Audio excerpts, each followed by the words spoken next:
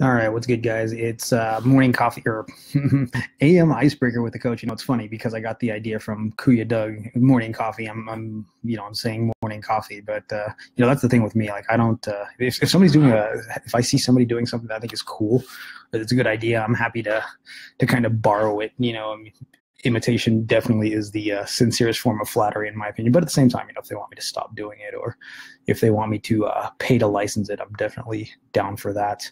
Um, you know it's funny i was talking to my, my mentor uh, sarah yesterday. She of uh, Onnit academy durability and of course Moveolution fame. Uh, check her out. I'll, I'll have a link to that stuff uh, in the description. And we're talking about yeah just the idea of you know pay, paying for the comfort of knowing what you can and can't do with a property, right? Um, you know, like uh, for example, I was saying I'm going to go to a Kinstretch in May, and I'm you know I'm happy to pay hundred dollars. I think I think their licensing fee is like hundred dollars a month after you test out, but you know. To, to have the security of knowing that I can say what I can and can't say or how I can and can't brand myself under a property is is security I really like to have. I won't lie.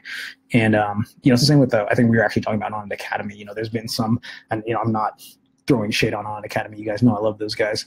but um, well, what's up, Andres? Um, but you know what, what I was saying was, you know, it, would be great for me, especially as somebody who's gone through all the Onnit Academy stuff, to be able to, you know, I'm willing to pay a licensing fee to know exactly how I can brand myself under that system. But uh, but yeah, anyway, so uh, I'm not not not sure not sure I'm going with that, but hey, that's that's what this is for. Um, yeah, my my not morning coffee, morning coffee. Actually, one of these days I'll have uh, I'll have coffee again. No coffee right now because I'm uh, I'm what what we're up on hour 38, I think, of my second dry fasting experiment, and uh, so so one of these days, probably Tuesday, maybe I'll have some coffee.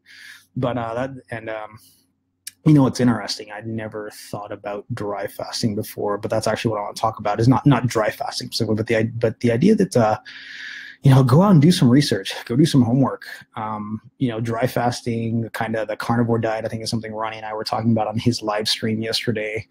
And, you know, these things, there, there's all these ideas that maybe sound crazy, but in practice may not be a horrible flip side being that there's all these practices that are probably crazy, but, you know, from an ideological standpoint are probably not bad. And nowadays, it's it's way too easy to be informed, but at the same time, it's way too easy to be to to, to you know for to build up a strong confirmation bias, right?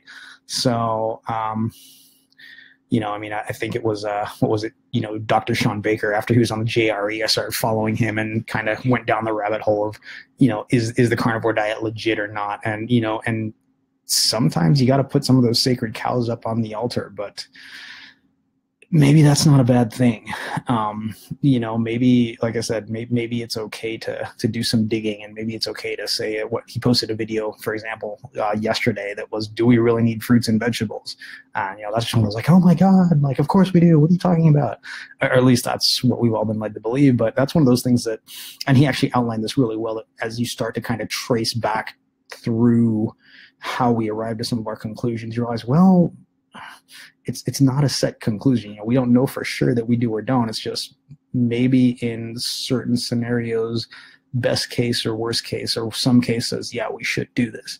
So um, yeah, so I guess that's all I'm going to say this morning is yeah, do your homework, do your research, especially now in this time of fake news and and rampant tribalism and and and way too much confirmation bias and uh, of course, it's Sunday, so in about two hours, I'll be back doing my live Q&A. So hope to see you guys then and there. And that's the AM Icebreaker. Cheers.